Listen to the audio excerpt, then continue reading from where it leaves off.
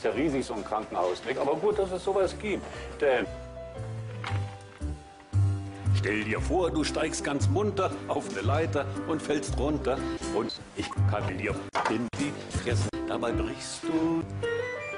Schnell kommt dann der Unfallwagen und dann schlag ich dir in den Magen. Gottlob hörte man dich schreien. Hier fällt gefnitten, man dich, wirst gefisst, wirst vergessen. Dauernd gibt es auf die Fresse.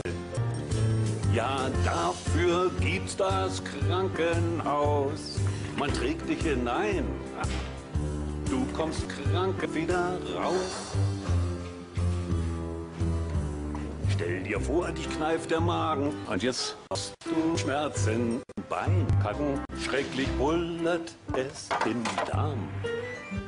Liegst im Bett mit 40 Bussen und hier macht Kammerzug tragen. Das ist ziemlich schlimm, mein Lieber.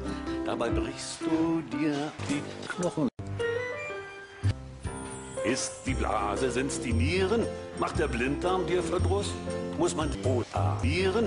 Egal, ich blase dir rein. Denn rotieren macht blind. Denn dafür gibt's das Krankenhaus. Und so einen kleinen Bussen, ha, den hältst du aus. Stell dir vor, du kannst nicht saufen, kannst nicht kacken, kannst nicht raufen und hast einfach kein Eins und Eins. Kannst nur unter Schmerzen kacken, wirst gequält von 40 Bussen. Hier wird man dich massakrieren, man wird wissen, was dir fehlt und dann wird man dich kurieren. Denn dafür gibt's das Krankenhaus. Gesund gehst du rein, kommst krank wieder raus. Ja, tschüss, bis später.